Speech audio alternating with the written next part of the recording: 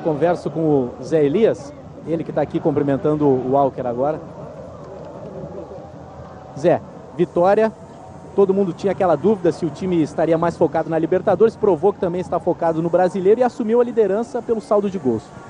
A gente sabia que era importante esse, esse jogo, principalmente pela sequência de duas derrotas e, a, e o jogo de quarta-feira, né? Que acho que é o jogo mais importante do Santos nesse ano. Então, nada melhor do que vir com a motivação de uma vitória. E foi o que a gente buscou hoje e vamos ver para a quarta agora. Não sentiu vontade de dar o cartão para o Wagner Tardelli ao invés de só entregar? Não, não, não, tem que dar os parabéns porque ele fez uma arbitragem fora de série. Tá legal, aí o Zé Elias, ele que resgatou o cartão que o Wagner Tardelli acabou perdendo.